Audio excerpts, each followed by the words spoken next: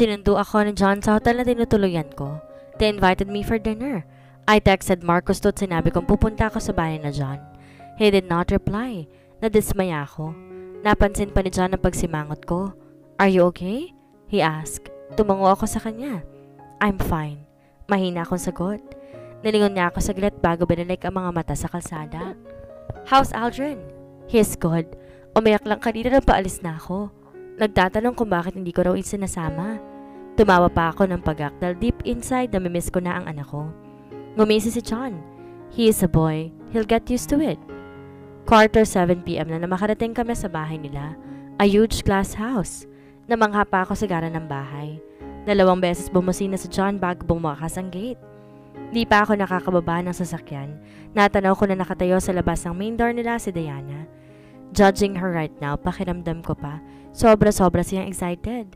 But I'm not sure kung saan siya excited. Dahil ba kay John o sa akin? Nang tuluyan na ako makababa ng sasakyan, bahagya pang tumili si Diana. Tumakbo siya palapit sa akin at niyapos ako ng mahigpit na yakap. I miss you so much, Ate Megan. She said excitedly. Nagulat ako doon. I did not expect that she will approach me like this. Bumitaw siya sa akin at nakangiting tinitigan ako. Alanganin akong ngumiti. At last I did. I smiled back at her. How are you, ate? Matagal na tayong hindi nakita. Namiss kita sobra. Nangungusap ang mga mata niya sa sobrang pagkatawa. Nagulat pa ako dahil hindi niya Englishera ngayon. She speaks Tagalog very well. Namiss din kita, sagot ko. Ngumiti ako kasabay ng paghaplos sa buhok niya. She's a wonderful woman. No doubt na nababaliw si John sa kanya. Babe? Tawag ni John kay Diana. Sabay kaming lumingon. Tara na sa loob. Pag-aaya niya sa amin. Napatingin ako sa braso ko ng bigla. Pinulupot ni Diana ang kanyang mga kamay. Let's go ate. Aya niya rin sa akin. Nagpatianod ako sa kanya. She speaks a lot. Habang papasok kami sa dining area, wala siyang pinagbago. She's still the talkative girl I met five years ago in Spain. Nang marating namin ang dining area, muntik na ako mapatalon sa gulat. Marcos sits silently on the dining area. Nagangat siya ng tingin sa amin. Huminto ako sa paglalakad. Napalingon sa akin si Diana. Tila nabasa kung bakit ako huminto. She whispered at me. It's okay, ate, sabi nito. Tinignan ko siya saglit and she smiled. Come, sit here. Inila pa niya ako ng upuan. Nagpasalamat ako sa kanya at umupo na rin sa hapag. Tahimik lang si Marcos sa parabang hindi ako nakita. Nakakainis talagang lalaking to. Naging abala si na John at Diana sa paghahain sa mesa. Nang matapos sila, nagtabi silang umupo paharap sa akin. Pero nagulat ako nang biglang tumayo si Marcos at lumipat sa tabi ko. Napatingin din si Diana sa kanya but I ignored him.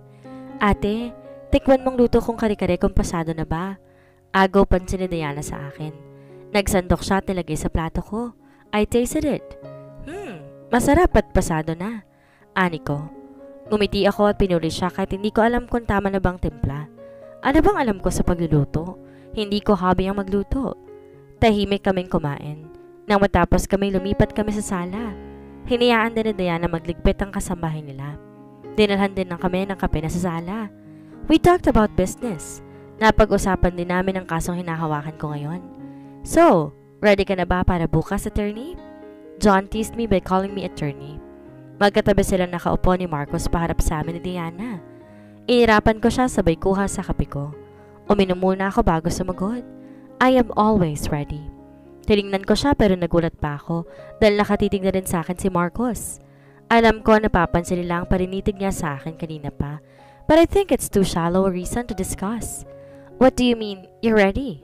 Marcos bluntly asked. Kumunot naman ang noon niya nang hindi niya sinasagot.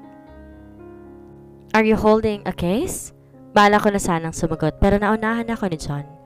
Tungkol sa villager sa Quiapo, yung squatters area doon na tinitirhan ng mga tao, may nakabili na at balak nilang i-demolition para patayuin ng condominium.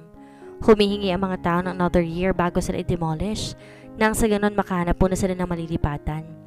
So Megan is standing the case para pakiusapan na nakabili. Humigop ng kape niya si John. I heard Diana gasp.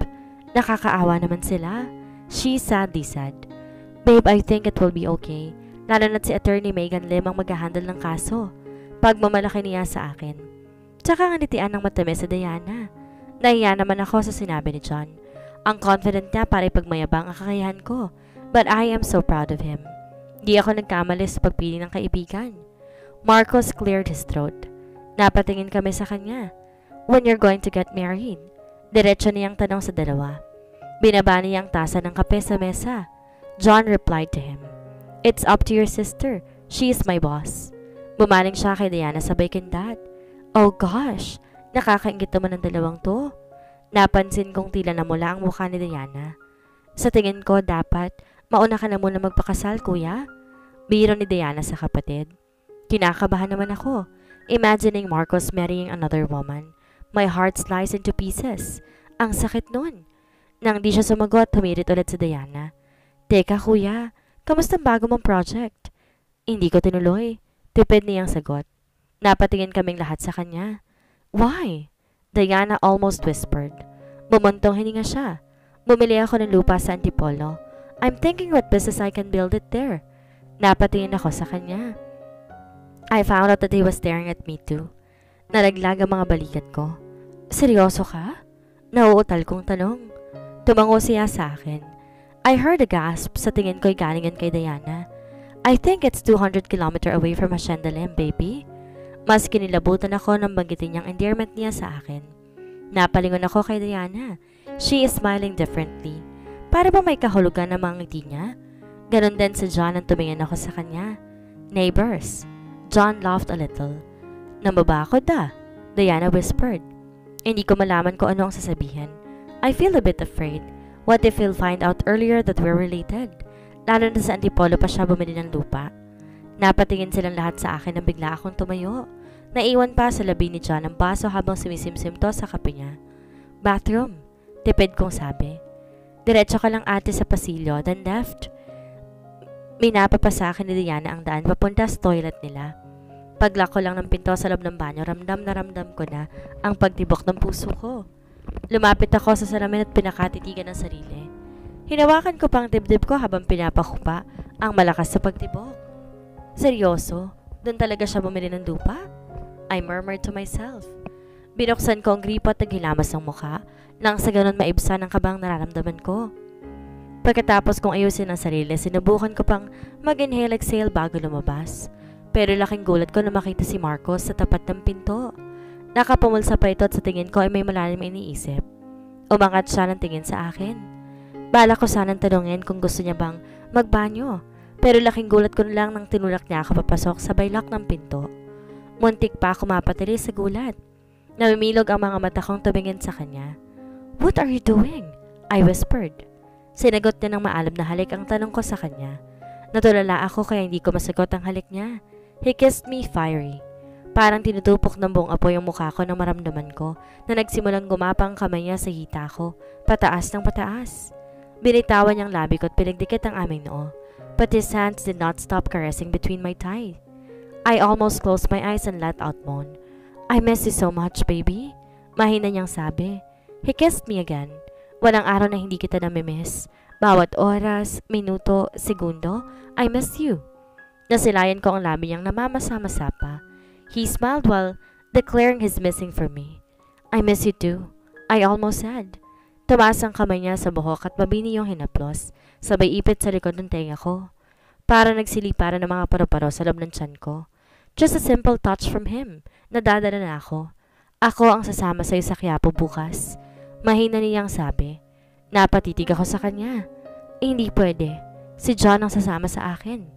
Tinignan niya akong diretso parang disgusto ang sinabi ko. I am. Hinaplos pa niya ang pisngi ko. Pinikit ko ang mata. Ang hirap makipag-argument sa tulad niya. Bumuntong hininga ako bago nagsalita. Hindi nga sabi. At saka ilang oras lang naman yun eh. No, ako dapat ang kasama mo. May DNA ang sabi. Napatitig ako sa kanya. Kunot ang noon at magkasalubong pa ang mga kilay. Umangat ang kamay ko sa panga niya at mabini kong hinaplos iyon, wanting him to throw the anger na nararamdaman niya ngayon. Pinikit niya ang mga mata niya. Pinagpatuloy ko ang paghaplos sa panga niya But when I realized that we're still inside the toilet, mahina akong tinawag ang pangalan niya. Marcos? He opened his eyes. Tumingin siya sa akin ng diretsyo. Inalis ko ang anumang hiya sa sarili ko. I tiptoed to kiss his troubled lips. Kinabukasan, maaga kaming gumayak na John patungong Quiapo.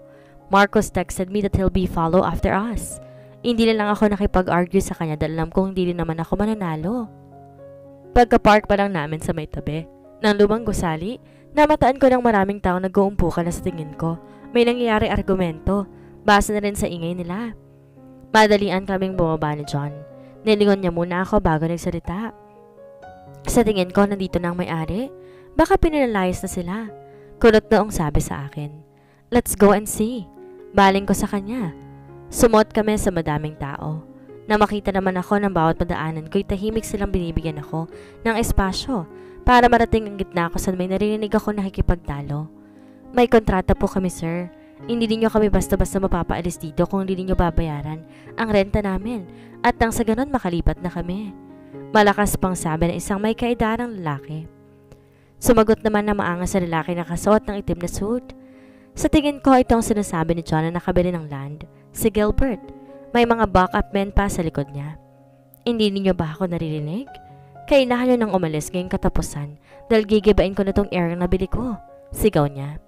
Sinabayan pa niya ng ngisi. Tuluyan na kaming nakalapit sa kinaroroonan nila. Napalingon naman sa akin na matandang nagpapaliwanag kay Gilbert. Bigla itong natahimik na makita kami ni John. Pati si Gilbert napatingin din sa amin. Tumayo ako sa tabi ng matanda. Nilampasan naman ako ni John at tinarap si Gilbert. Napahinto na rin ang bulungan ng mga taong nakapaligid sa amin.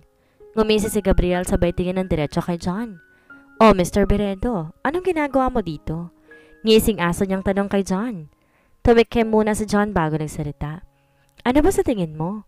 Binalingan niya ako bago nagpatuloy na sasabihin. I am here to help the villagers. I came with my lawyer. Sabay tingin sa akin. Humakpang ako para mapantayan si John ang tayo. I heard gasp from the people around us. Gilbert smirked. Nagdala ka pa talaga ng abogado mo.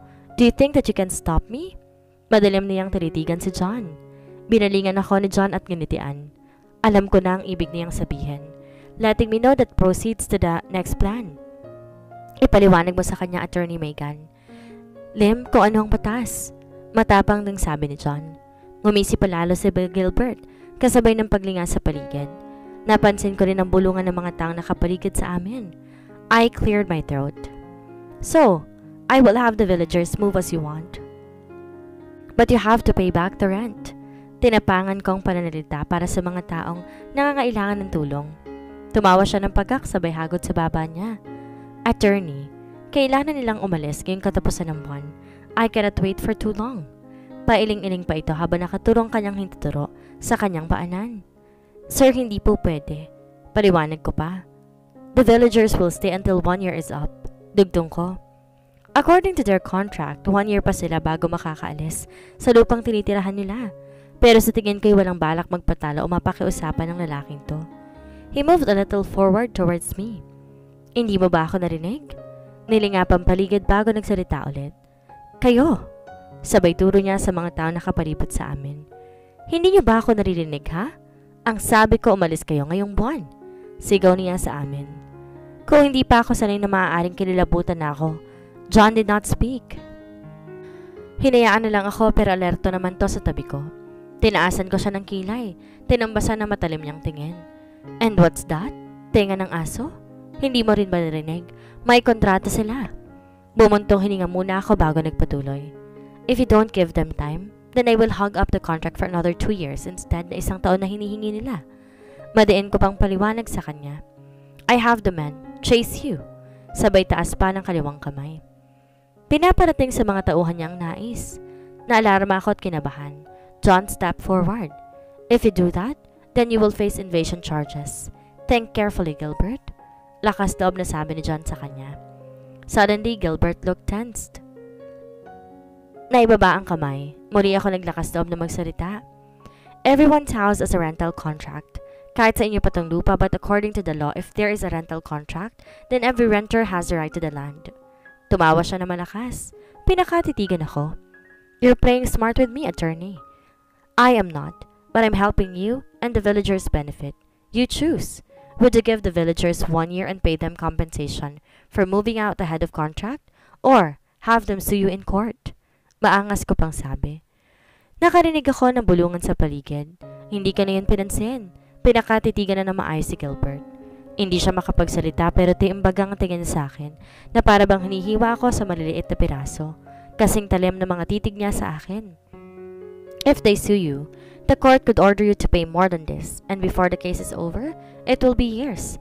Think what more worth is, sir. Narinig ko pang nagpalakpakan ng paligid na hindi makasagot si Gilbert. Gumiti ako sa mga tao na kapaligid sa amin. Paglingon ko sa kabilay, biglang naiwan ang mga mata ko sa lalaking nakatayo habang nakapamulsa ito. He's standing in the sidewalk while Arthur and Arnold. Ngumiti siya sa akin at dahan-dahang lumapit. Dahil sa mapang-akit ang tingin, halos hindi ko maikurap ang aking mga mata. Ang malakas sa palakpakan sa paligid, halos hindi ko na rin naririnig. Batid ay mas maririnig ko pa ang tibok ng puso ko na kasing lakas ang tambol. Marcos kept staring at me while slowly walking towards me. Sa paraan ng palinitig niya, I can see his deepest desires. Nagpasalamat sa akin ng mga villagers. Ngumiti lang ako sa kanila pero nasa ibang atensyon ko. When Marcos finally reached me, ginagap niyang palad ko sa bihila sa akin paalis, sa gitna ng maraming tao. Nagpatianod naman ako. Hinayaan ko na lang si John na kausapin ng mga tao. I saw Gilbert walk out to with his dangerous man. Nang marating namin ang sasakyan niyang nasa likod lang ng sasakyan ni John, Naabutan kong pareho nakangisi sa amin si Ronald at Arthur. Maybe because their boss was too possessive. Wala sa lugar ang pagkasiloso. Hinila ko ang kamay ko kaya't napatingin naman siya sa akin. What? He asked. Bakit ka pa sumunod dito? Mahina akong tanong. Pero ang mga kamay ko hindi nagtagumpay na makalaya sa mga palad niya. Sinabi ko nang susunod ako, baby. What's wrong of doing that? Seryoso niyang sagot. Inirapan ko siya. Bumaba ang tingin niya sa mga kamay namin na kasalukuyan magkasalikop. He smirked. Bala ko sanang pandilata na mapansin ko, papalapit na sa amin si John. When I looked to my best friend na nakangisin ito nakatingin sa amin ni Marcos, I glared and ignored him. Sa tingin ko may sundo ka, attorney, kaya mauuna na ako sa iyo. Nagising aso niya para pangasar sa akin. John! Tinaas niyang kamay bilang pagsuko. I'm sorry, mauuna na ako. Paalam niya sabay bukas ng pinto ng kanyang sasakyan. Seryoso? Iiwan niya ako kay Marcos? Kumaway pa sa amin si John bago pinandar ang sasakyan, palayo sa amin. Marcos looked at me. Let's go? Aya niya sa akin. Pinagbuksan pa ako ng pinto. Backset kami umupo. Si Ronald naman na nagmamaneho at katabi si Arthur. Hindi matiwasay ang pagsakay ko ng sasakyan niya. Halos malapnos ako sa hiya. Hawak ni Marcos sa mga kamay ko. Minuminuto dinadampian ng halik. Hindi kailanman magsasalita ang dalawa naming kasama. Pero kapag napapatingin sila sa amin, may kahulugan ang mga ngisi nila. Halos gusto ko lang sampalin si Marcos sa ginagawa niya sa akin. He is too bold. Ininda ko ang paninitig niya sa akin at ginagawa. Inayaan ko na lamang siya dahil ang traidor kong puso'y nagugustuhan ng ginagawa niya. Paliko na kami ko sa ng road papunta sa Makati nang bigla akong makarinig ng putok. It came from behind. Napatili ako. Niyakap ako ni Marcos at niyo ko ang ulo ko sa set. Bilisan mo, Ronald. Narinig ko pang sigaw niya. Tinakpan konting ako gamit ang dalawang kamay ko. I am shaking. We've been ambushed. Naramdaman kong huminto ang sasakyan namin pero hindi ako nagangat ng tingin. Nakarinig naman ako ng putok. I screamed. Nanginginig na ako sa takot. Inangat ko ang mga mata ko pero laking gulat ko na makita kong may hawak na baril si Marcos. I remember the past, back in Spain, nang panahong tinutukan niya ako ng baril. Bigla ako natakot sa kanya. Paglingon ko, sa driver's seat ay wala na sina Ronald at Arthur. Nagagilap sila ng mga mata kong nasa labas na habang hinahabol ng putok ang itim na sasakyang papalayo sa amin. Tingin ko sila ang nanambang sa amin. Marcos dropped the gun beside him. He cupped my cheeks and lets me look at him. Baby, tawag niya. Pero nanatili pa rin akong tulala. Hindi ako makapagsalita sa sobrang takot. Look at me, Megan. Utos niya. Tinignan ko siya kasabay ng panalaglag ng aking mga luha. Don't be afraid, I'm here. Pinagdugtong niya ang mga noon namin. Tinignan niya ako sa mga mata. You're shaking? He whispered. Hinaplos niya na isang beses ang pisngi ko at tinampan ako ng mabilis ang halik sa labi. Boss? Narinig kong tawag ni Arthur kay Marcos. Pumasok na kayo sa loob? Utos niya sa kanila. Niyakap ako ni Marcos at sinandal ang ulo ko sa malapan niyang dibdib.